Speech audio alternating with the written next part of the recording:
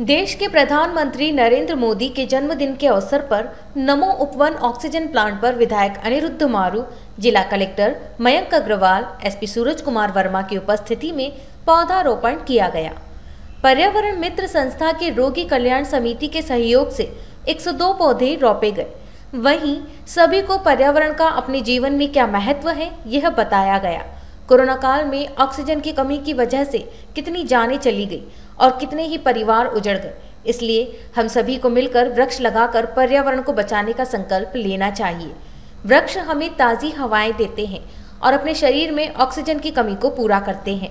इस अवसर पर एसडीएम आकांक्षा करोटिया, तहसीलदार मनोहर लाल वर्मा, बीएमओ निरुपमा झा, एसडीओपी संजीव मुले, थाना प्रभारी के एलडांगी, भाजपा के बंशी लाल राठौर, पुष्कर झंवर, सुनील यजुर्वेदी सहित भारतीय जनता पार्टी के सदस्य व आमजन उपस्थित रहे।